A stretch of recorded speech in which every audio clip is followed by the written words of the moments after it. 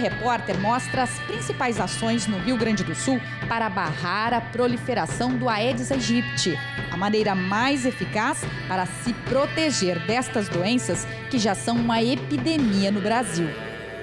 Três doenças virais que têm o mesmo vetor, um mosquito que está muito próximo da gente.